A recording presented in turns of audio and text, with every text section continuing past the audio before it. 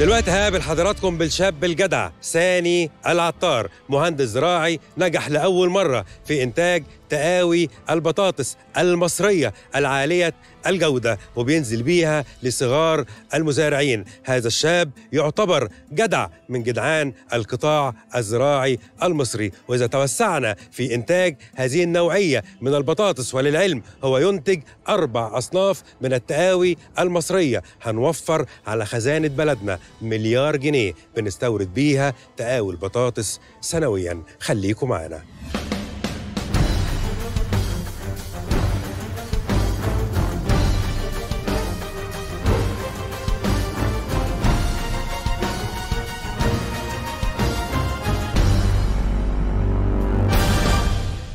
تقاوي البطاطس بنستورد منها سنويا لتغطية احتياجات المزارعين حوالي 105 ل 110 ألف طن كمتوسط عام وأحيانا بتوصل ل 140 و 150 ألف طن لأن باختصار أي حد النهاردة عنده بطاقة ضريبية وسجل تجاري من حقه يستورد. لكن في المجمل التكلفة اللي بتتحملها مصر لاستيراد تقاوي البطاطس مش بتقل عن مليار جنيه سنوياً.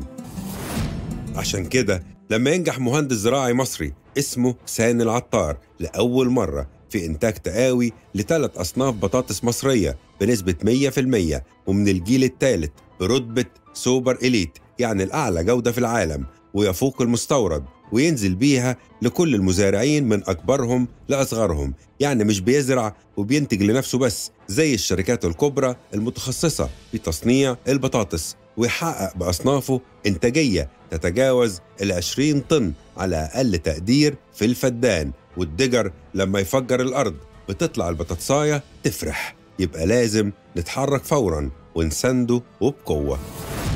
المهندس سان العطار شركته اسمها أجرو ستارز للتنمية الزراعية. قابلناه في الثلاجات العملاقة بالعياط اللي طاقتها 75 ألف طن واللي بيحفظ فيها التقاوي المصرية لأصنافه الثلاثة من البطاطس اللي بدأ إنتاجها من مرحلة الأنسجة يعني من الجيل ال zero ال mini tuber. وخلي بال حضراتكم الأصناف اللي أنتجها المهندس سان العطار هي المونديال والليدي روزيتا والسبونتا وكلها مصرية بنسبة 100% لأول مرة شركة مصرية تنجح إنها تنزل للمزارعين وتستحوذ على ثقتهم. الشركات الكبيرة بتعمل لنفسها وبتزرع لنفسها. لا فهمني. ده بدأته إزاي؟ واشتغلته إزاي؟ ده إحنا لغاية 2011 ما كانش عندنا قانون بينظم إنتاج تقاوي البطاطس الحقيقة أنا مهندس زراعي ومن يوم ما اتخرجت إلى يومنا هذا شغال في مجال البطاطس. آخر وظيفة ليا كانت في شركة شيبسي كنت مدير إنتاج تقاوي البطاطس في شركة شيبسي. والحقيقة اللي بتزرع نفسها يعني مظبوط. خط إنتاج لنفسها مظبوط. والحقيقة الشركة بدأت المشروع من لا شيء وكلفتني بيه إنه عايزين ننتج تقاوي بطاطس في مصر زي ما أوروبا بتعمل. وعملوا مجهود عظيم. نعترف بيه وبعد نجاح المشروع في شيبسي لمدة عشر سنين آه، أخدت القرار وطلعت من شيبسي وأسست شركتي أنا الخاصة شركة Agro Stars للتنمية الزراعية وبقالنا دلوقتي ثلاث سنين بننتج آه، تقاوي مصرية 100% وأول منتج ينزل السوق المصري كان في الموسم الصيفي اللي فات ونزلناه في أغلب تجمعات زراعة البطاطس في مصر. والحقيقة إحنا بدأنا بأربع أصناف آه، صنفين تصنيع وصنفين مائدة وتصدير. التصنيع برضو في آه، شركات أخدته مننا شركات تصنيع بدل ما تاخد ال- الليدي روزيتا المستوردة أخدت صنف الليدي روزيتا بتاعنا. المصري. المصري 100% الليدي روزيتا المصري. مظبوط. مكتوب كده على الشكارة اللي هتروح مظبوط. للمزارع المصري. والحقيقة وزارة الزراعة ملازمانا خطوة بخطوة. من أول اعتماد ال mini tuber نفسها آه، وتمشي في معانا معامل الأنسجة طبعا. في آه، في وزارة الزراعة لجنة اسمها لجنة زراعة الأنسجة. صحيح طبعا. دي ما لهاش آه، آه، شغل غير مع معامل زراعة الأنسجة. تتأكد إن المعمل نفسه معتمد المعمل مطابق للمواصفات العالمية. المنتج اللي طالع في المعمل دون بيتاخد منه عينات وتتحلل أكتر من مرة خلال مراحل الإنتاج. ونتأكد إن الشتلة اللي طالعة من المعمل خالية تماما من أي أمراض. الحقيقة إنه التقاوي المصرية منتجة علشان تناسب ظروف الزراعة المصرية. تمام. وبما إننا شايفين كل اللي بيحصل فيها آه، من ناحية إحنا كشركة وال quality control اللي عندنا ومن ناحية تانية وزارة الزراعة بكل الجهات الرقابية اللي فيها من إدارة التفتيش الحقلي اللي بينزلوا لنا الحقول وي- ويفتشوا في الحقول نفسها ويشوفوا في إصابات في الزرع ولا ما فيش ال- النمو الخضري أخباره إيه الجودة شكلها إيه. لأن وزارة الزراعة ما بتديناش ختم اعتماد بالساهل. صحيح. لازم تبقى متأكدة مليون المية إن المنتج دون إذا ما كانش أحسن من المستورد فهو على الأقل زيه. طب الاعتماد بتاعك عمل لك رتبة إيه؟ إحنا بناخد أعلى رتبة بتدخل مصر اللي هي سوبر إليت. يا اللي ما بيدخلش مصر منها غير كميات قليلة جدا. كل اللي بيدخل إليت فعلا. بيدخل إليت. عارف مشكلتنا في إيه؟ في البطاطس؟ إن إحنا فاتحين باب استيراد التقاوي لكل من هب ودب للأسف بيجيب من أي مزارع في أوروبا لأن كلهم عندهم شركات فبيجي لنا الفيروس وبيجي لنا كوارث من بره.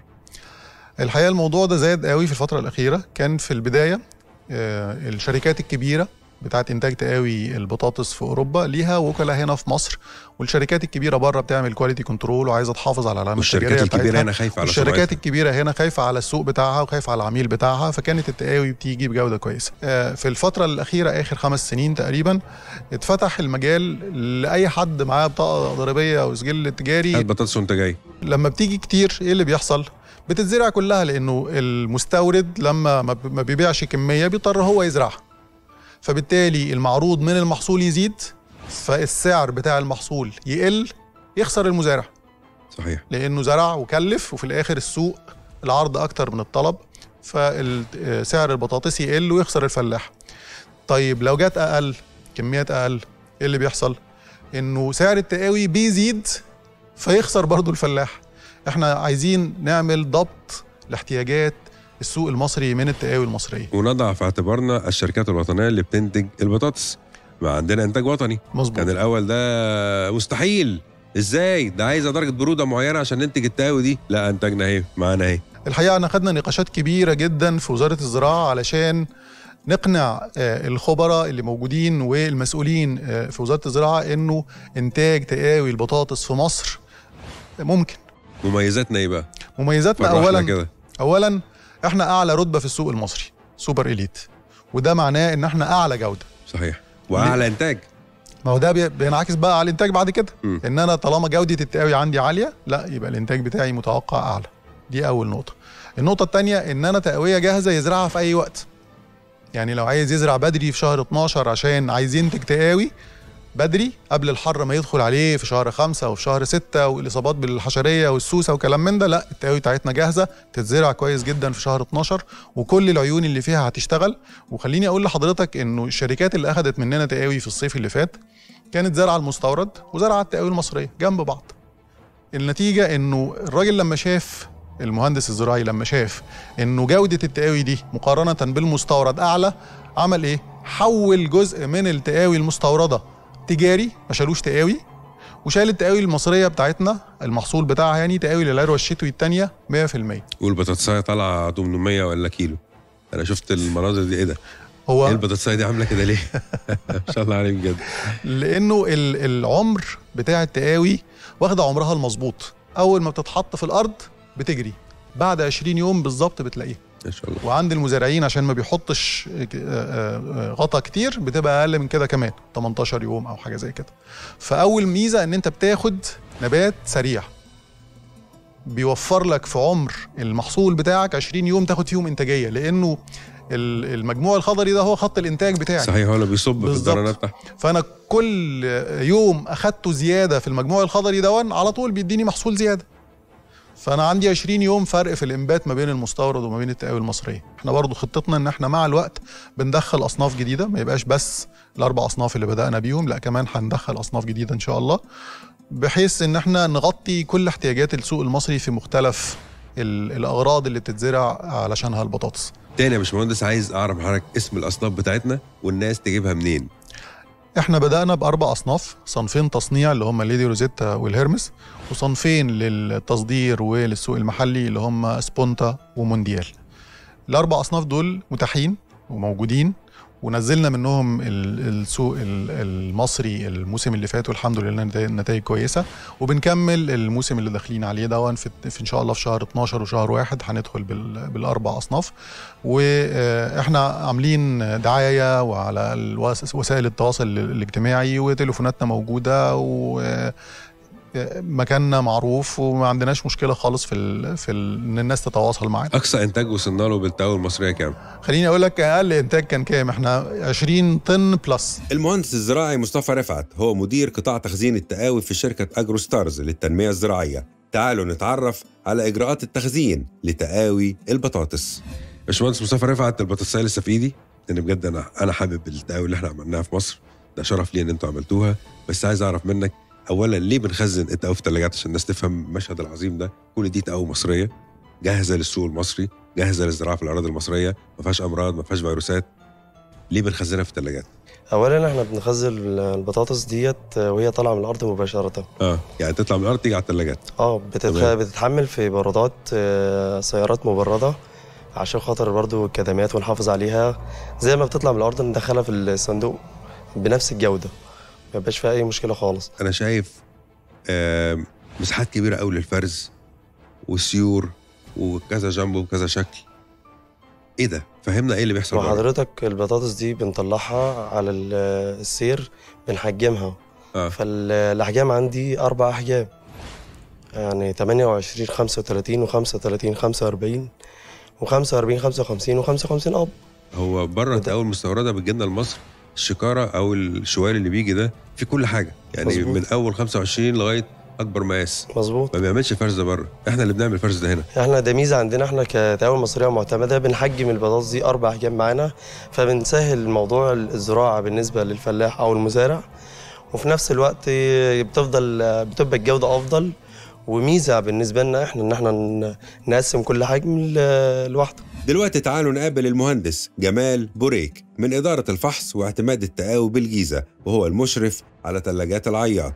تعالوا نعرف إجراءات الفحص والاعتماد لتقاوي البطاطس. الاعتماد بيتم إزاي؟ المراحل بتاعتها إزاي؟ اشرح لنا وطمنا. التقاوي المصرية اشتغلنا عليها إزاي؟ آه. مراحل الاعتماد ما بتتمش من هنا بس لا، ده بتتم في ال- في الأرض نفسها طبعا. يعني في الأرض قبل الزراعة وأثناء الزراعة. وقبل الحصاد بيتاخد منها برضه عينات بتسحب من عينات للفحص وبتتنقل بقى من المزرعة بعد كل ده ما بت- بتتم انه بتطلع النتيجة بتاعته في ال في ال في التقاوي نفسها أظن إحنا, كده- إحنا آه. مركزين مع التقاوي المصرية عشان نضمن إنها تبقى فعلا بمنتهى القوة وتنجح في كل الأراضي اللي تحط ما فيها صح؟ هي هي حضرتك عشان تنجح لازم يتعمل عليها الإجراءات دي تمام. عشان تضمن إن هي ناجحة وتثبت نجاح يعني السوق اللي بيثبت النجاح كمان طبعا يعني مش الكلام طبعا. بس. الفلاح اللي بيقول الأرض اللي آه, بتتكلم. آه هي اللي هو اللي بيثبت. هل بنتابع التقاوي في خلال فترة التخزين؟ لازم لازم نتابع. إحنا يوميا نتابع أثناء الشغل وبعد الشغل. لازم لازم بنتابعها يوميا أثناء الدخول. وبعد ما بنقفل كمان العنبر كمان إن إحنا بنتابع درجات الحرارة بنتابع الرطوبة آه بنتابعها طول ما في العنبر لحد ما بيجي بقى بتسحب بقى منها عينات تاني. وبتتفحص وبتطلع النتيجة. بعد كده بنبدأ بقى إجراءات الخروج آه عن طريق إن هي بنطلع بقى لوط كل لوط برضه لوحده زي ما دخلنا. بنطلع اللوطات بالبطايق بتاعتها بتتعمل محاضر للمكان اللي هي رايحة فيه. المزرعة أو المكان اللي هتزرع فيه بتتعمل محضر وبيتسجل هو كده إحنا ماشيين في نظام التتبع خلي بالك. آه. يعني أنا مبسوط إن ده كده الكلام كله. أنا بتاكد إن إحنا كده عاملين تتبع لكل بتتصايم أول ما طلعت من معمل لازم. لغايه آه. لما راحت اتزرعت بعد 8 9 شهور سنة. آه وبتيجي بت- بنتابعها برضه لحد ما تروح تزرع تاني. الدورة مستمرة آه التتبع مستمر مستمر آه مستمر على طول لحد ما تروح. بنفس البطايق وبتتابع وبتروح تزرع في المكان تاني وبنتابعها نلف ال- الدوره تاني من جديد. المهندس سامي العطار جدع لو في منه 100 في مصر هنحقق اكتفاء ذاتي من محاصيلنا الزراعية وهنكتسح العالم بصادراتنا الزراعية. عنده صبر ملوش حدود وهدوء الواثق من نجاحه. وإيمان كامل باللي بيعمله وفاهم ومش بيخاف.